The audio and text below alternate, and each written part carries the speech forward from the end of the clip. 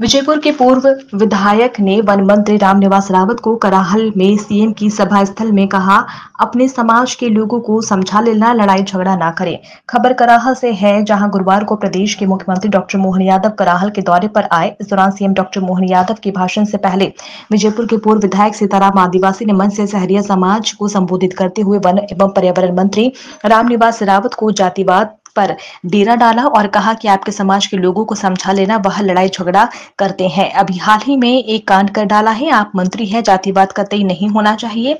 BJP की बदनामी नहीं होनी चाहिए। ये कांग्रेस नहीं, भाजपा है। यहाँ काम करना पड़ेगा। पूर्व विधायक का ये बयान अब जमकर वायरल हो रहा है। देखिए कराहल से अमित कुमार श्रीवास्तव की रिपोर्ट। कांग्रेस में रिया जब तो भूल गया वे। हमारी सरकार में बिल्कुल चेतावनी आ गई और विकास होगा। अभी पंद्रह रोड मंजूर करवा दिया है। डैम भी करवा दिया। तो हमारा रामनिवास से मेरा कहना है सीधी कहता हूँ मैं, कोई भेदभाव नहीं होना चाहिए। कतई जातिवाद नहीं होना चाहिए। सब एक जगह से देखना चाहिए। आप मंत्री बनाया है सरकार ने। हमारी बदनामी नहीं हुआ है, हमारी सरकार की। इसलिए मेरा कहना रामनिवास रावत से, आपकी समाजे भी समझा लिए लाटे काट दिए कोई लड़ाई झगड़ा करते हैं, अभी कांड कर दिया। मैं साफ़ साफ़ कहता हूँ, मैं नहीं डरता हूँ किसी से। ये क्यों कि ये नहीं चलेगी।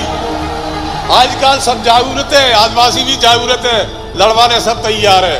तो आपकी समाज डांट के रखाने